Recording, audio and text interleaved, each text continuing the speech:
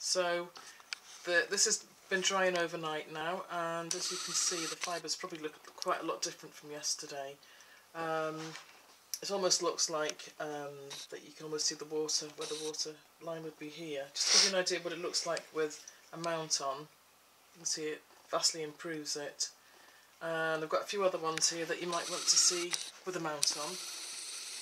That's one of uh, some trees. And the sun coming through the trees and creating a shadow. This one is based on an image of towards Loch Maree on the west coast of Scotland. This one is loosely based on a picture that I saw uh, by David Hockney.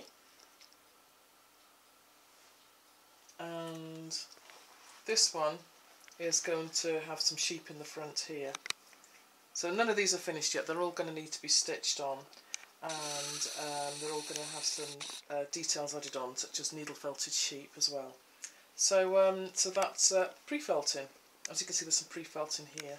Uh, so yeah, that's it. That's uh, my guide to pre-felting.